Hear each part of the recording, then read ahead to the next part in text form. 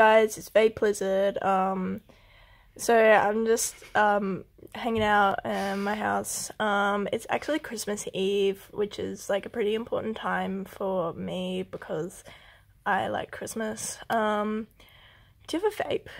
Do you reckon i could vape? Um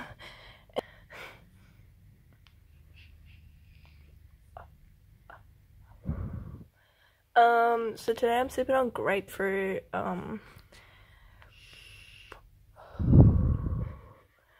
Um.